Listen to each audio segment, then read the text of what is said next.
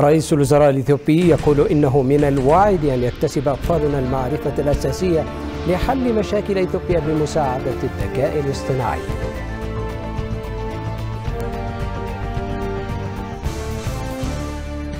الملحقون العسكريون من 47 دولة وممثلو المنظمات الدولية المقيمون في أديس أبابا يقومون بزيارة ميدانية لسد النهضة الإثيوبي الكبير.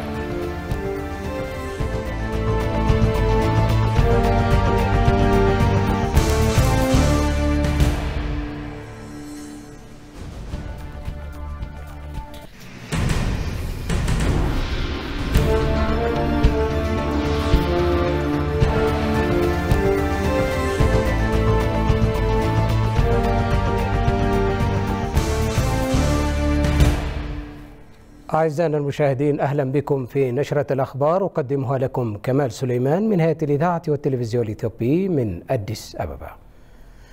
حضر رئيس الوزراء الدكتور أبي أحمد معهد الذكاء الاصطناعي وشاهد خريجي التدريب الذي استمر لمدة شهرين حول طبيعة وأهمية تكنولوجيا الذكاء الاصطناعي.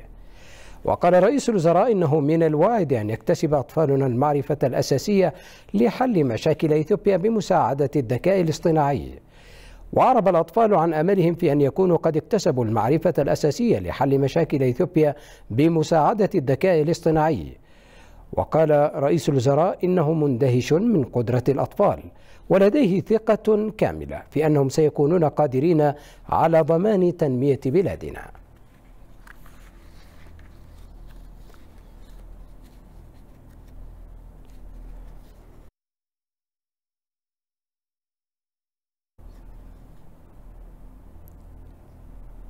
قامت عمدة مدينة أديس أبابا دانش بيجي بجولة في مركز التأهيل للمرأة ومجموعة الصناعات المتوسطة وعملية بناء أستاذ كاكي الدولي. وذكرت العمدة أن المشاريع ذات فائدة كبيرة لمدينة أديس أبابا وخلقت فرص عمل للعديد من السكان أثناء عملية البناء. وأعلنت دانش بيبي عبر صفحتها على مواقع التواصل الاجتماعي أنها رأت أن عملية البناء تتسارع وفق الاتجاه المحدد. وقالت وفاء بوعودنا للشعب سنواصل العمل الجاد لجعل أديس أبابا مركزا مناسبا للعمل والمعيشة حيث تسود العدالة الاجتماعية.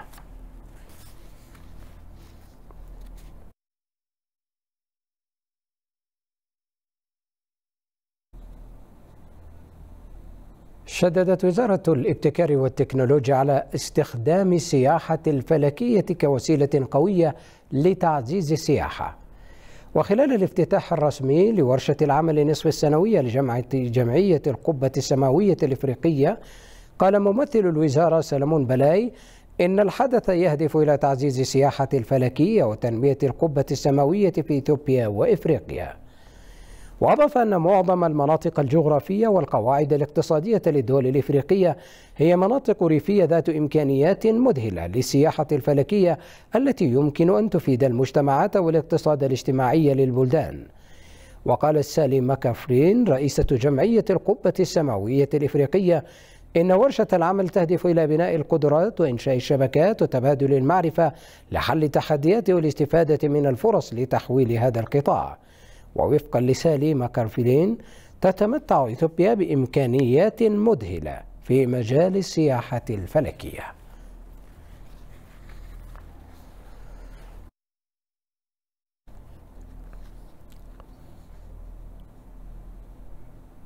قام الملحقون العسكريون من 47 دولة وممثلو المنظمات الدولية المقيمون في أديس أبابا بزيارة ميدانية لسد النهضة الإثيوبي الكبير وعبروا عن إشادتهم بالسد باعتباره رمزا للتكامل الإفريقي. وقال العميد عبد المجيد أنس عمر الملحق العسكري السوداني إن سد النهضة يعد فخرا لإفريقيا وسيعزز علاقات الجوار بين الدول.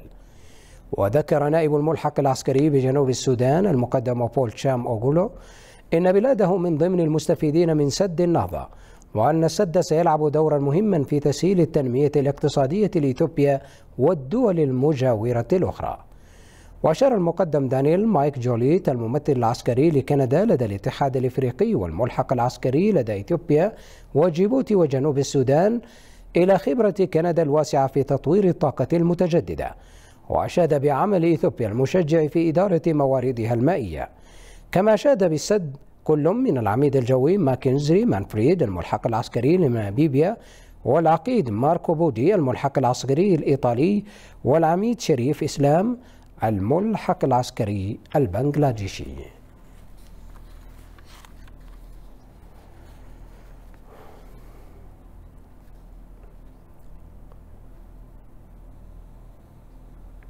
أعلن مكتب خدمة المغتربين الإثيوبيين أنه سيتم إنشاء مجلس استشاري دولي يضم 250 عضوا لتعزيز مساهمة المغتربين في تنمية البلاد. وقال المدير العام للمكتب محمد إندريس إن المغتربين قدموا مساهمات كبيرة استجابة لدعوة الحكومة عندما كانت البلاد تمر بصعوبات. بالإضافة إلى الدعم المالي يقدم المغتربون الدعم لمختلف مشاريع التنمية ويلعبون دورا مهما في نقل المعرفة والمهارات والتكنولوجيا. وقال المدير العام إن مساهمة المغتربين في تنمية ونمو إثيوبيا تتزايد من وقت لآخر مضيفا أن مشاركة المغتربين هذه تحتاج إلى تعزيز وتبذل الحكومة أقصى جهودها حتى يتمكن المغتربون من المشاركة في أنشطة التنمية بالبلاد.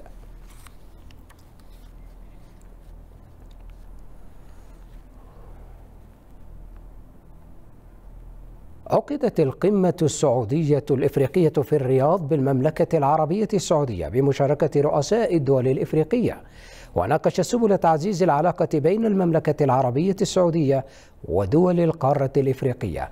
المزيد من التفاصيل في تقرير زميلنا عبد الرحمن أمين.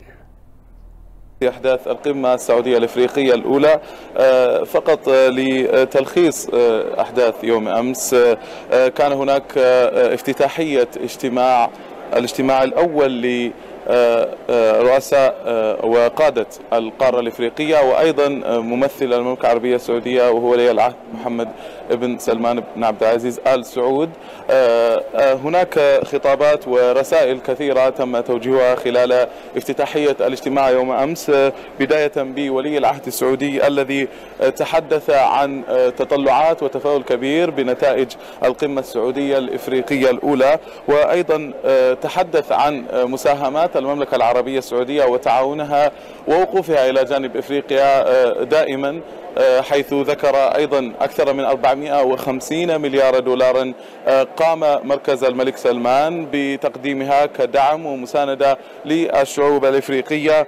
تحدث أيضا عن مبادرة تم الإعلان عنها يوم أمس لضخ مبالغ مالية لدعم آه، القارة الإفريقية والشعوب الإفريقية تتوزع على عشر سنوات مقبلة حتى 2030 آه، أيضا تحدث ولي العهد السعودي آه، الأمير محمد بن سلمان عن نية المملكة العربية السعودية إلى زيادة عدد سفاراتها إلى أكثر من 40 سفارة في القارة الإفريقية. وأيضا في نهاية حديثه ذكر أنه يدعو الدول الإفريقية للمشاركة في معرض إكسبو وأن تكون جزءا من التاريخ العظيم الذي ستسطره المملكة العربية السعودية في معرض إكسبو الذي يتوقع أن يقام آه، بعد 2030 آه، في 2030 آه، أيضا بعد حديث ولي العهد السعودي كان هناك خطاب لعثماني غزالي رئيس وزراء جزر القمر حيث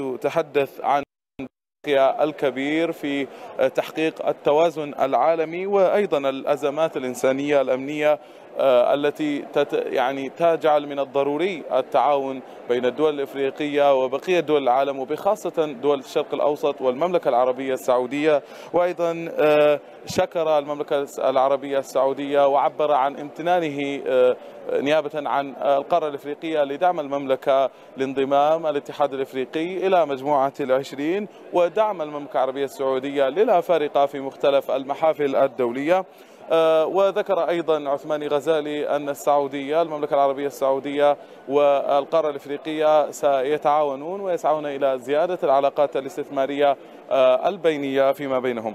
هناك أيضا حديث آه، لمفوض الاتحاد الإفريقي موسى فكي محمد حيث ذكر يعني عرج على موضوع قوة العلاقات العربية الإفريقية منذ القدم وحتى يومنا هذا وأنه يجب أن تؤسس هذه القمة لمستوى جديد من العلاقات بين المملكة العربية السعودية والقارة الإفريقية. يعني تكون فيه الأطراف المشاركة في هذه العلاقة مستفيدة إلى أبعد حد. وأيضا هناك تشابه الرؤى الذي أشار إليه موسى فكي محمد تشابه الرؤى السعودية والرؤى الإفريقية في أجندة 2030 وأجندة 2063 وكيف أنه يمكن يعني الوصول إلى يعني ارتفاعات أعلى وتحقيق نتائج أكبر من خلال التنسيق بين هذه الرؤى بين القارة الإفريقية والمملكة العربية السعودية. هناك أيضا ما ذكره رئيس أو مفوض الاتحاد الإفريقي عن الأولوية التي وضعها الاتحاد الافريقي والقادة لا فرق بشكل عام وهي البنى التحتية التي تعتبر عاملا اساسيا في تنمية وتقدم وازدهار القارة الإفريقية. وذكر أيضا القضية الفلسطينية وموقف القارة الإفريقية وضرورة تحديد موقف القارة الإفريقية إذا ما يحصل هناك في فلسطين وموقف إفريقيا حيال تحقيق حرية الفلسطينيين وأيضا دعا إلى وقف عمليات الدمار في غزة.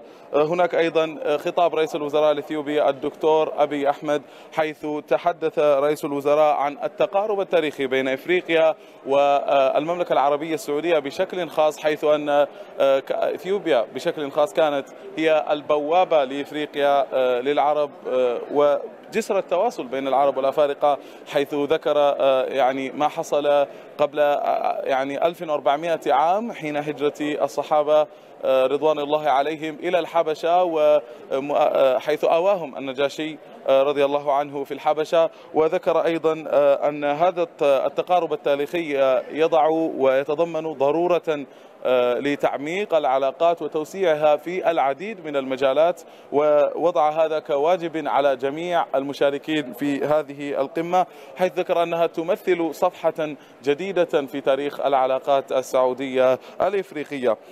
ذكر نقطة مهمة أيضا رئيس الوزراء إذا سمحت لي زميلي ذكر نقطة أخرى مهمة وهي نقطة الزراعة الخضراء هناك الزراعة الحضرية عفوا حيث إثيوبيا تعمل على تطوير مثل هذه المشاريع وبذلت في الأشهر والسنوات القليلة الماضية جهودا كبيرة في تطوير مجال الزراعة الحضرية وهناك أيضا الجهود الزراعية والمشاريع الكبيرة التي تبذلها المملكة العربية السعودية وتعمل على إنشائها في مجال الزراعة. فكان هذا كمقترح أيضا للتعاون في مجال الزراعة حيث توجد الموارد وتوجد الامكانيات عند كلا الجانبين يمكن تحقيق نجاحات كبرى. وذكر أيضا التحول الأخضر الذي يسعى إليه الجانب السعودي أيضا الجانب الإثيوبي ممثلين بالقارة الإفريقية والشرق الأوسط حيث أن المملكة العربية السعودية لديها مشروع الشرق الأوسط الأخضر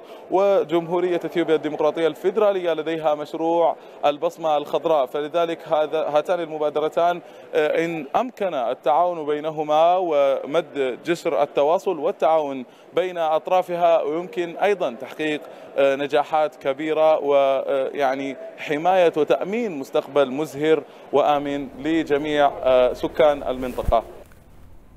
عقدت ورشة عمل حول أهمية المورينجا في تحسين سبل العيش الريفية من خلال دعم تطوير سلسلة قيمة المورينجا في إثيوبيا. وفي حديث بهذه المناسبة ذكر رئيس تطوير معهد المعايير الإثيوبية يلما منجستو أن المعهد يعمل بشكل وثيق مع أصحاب المصلحة في منح معايير الجودة لمنتجات المورينجا بهدف تعزيز أهميته متعدد الأوجه. وقال يلما إن مسحوق المورينجا وشاي المورينجا تم منحهما معايير الجودة مضيفا أن ذلك يمكن المنتجين من توفير منتجات عالية الجودة للسوق المحلية وضمان معايير التصدير. مشيرا إلى أن توحيد منتجات المورينجا سيلعب أيضا دورا مهما في تحصيل الغذاء والاستراتيجية. وقالت مديرة المركز الإقليمي لمنظمة الأمم المتحدة للتنمية الصناعية في إثيوبيا أوريلا كارابارو إن منظمتها تعمل بالتعاون مع الهيئات المختصة في إثيوبيا لزراعة محصول المورينجا. وأضافت أنه تم تقديم دعم مختلف لتعزيز تنمية المرأة الريفية من خلال تقديم المساعدات الفنية وتنمية المهارات وتعزيز سلسلة قيمة المورينجا.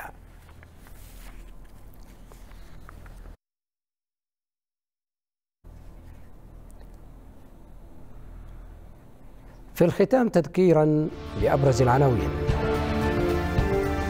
رئيس الوزراء الإثيوبي يقول إنه من الواعد أن يكتسب أطفالنا المعرفة الأساسية لحل مشاكل إثيوبيا بمساعدة الذكاء الاصطناعي.